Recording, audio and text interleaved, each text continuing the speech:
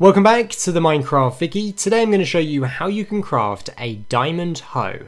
Now before we get started you want to make sure you've got yourself some sticks, an iron pickaxe and a crafting table. Now if you're unsure on how to get any of these, uh, we do actually have tutorials in the card or the description for you to check out. Uh, but once you've got them, you simply want to go to levels 12 or 15 uh, in a cave or mine because that's exactly where you're going to find yourself some diamond ore. And uh, with your pickaxe, you want to mine out two pieces of diamond ore, and uh, that will give you two diamonds in return.